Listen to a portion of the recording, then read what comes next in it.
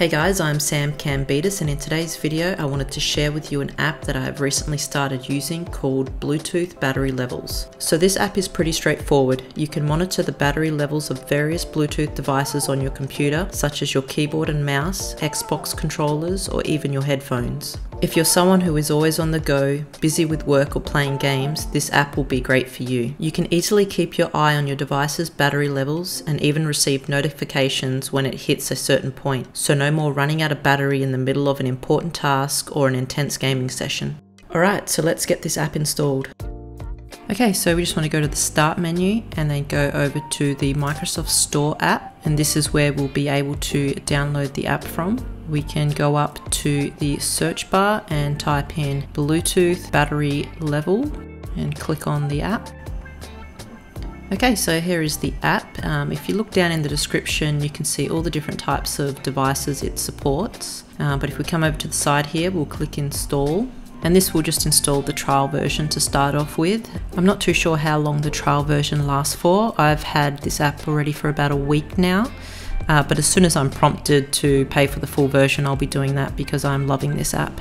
Okay, so now we want to click open and we'll close out of our Microsoft Store and down here you can see the little icon. We can click on that to open the app and in here you can see that my keyboard and mouse have automatically been picked up. If we hit this arrow on the side we can customize things a little bit.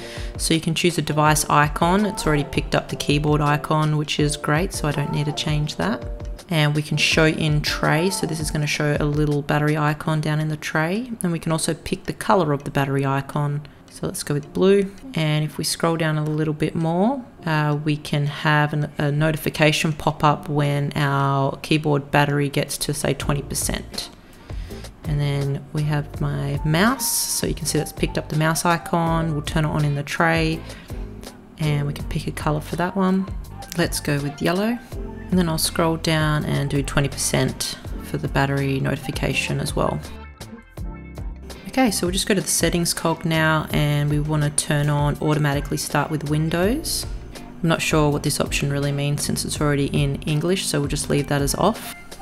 So once you've done that, if you hit the X, it's actually going to close down the app and then you're going to lose the little battery icons from your taskbar. So you would have to go to the start menu and turn it back on again.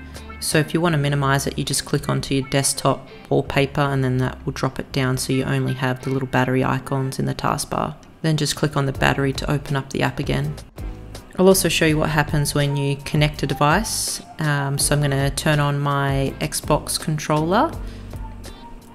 So you can see it's there now, but you also get this HID compliant gaming controller thing pop up. And to get rid of that, I just close out of the app and then you can just go back to your start menu and reopen the app and then it seems to be gone. You can also hover your mouse over the battery icons in your taskbar to see the battery percentage of each device.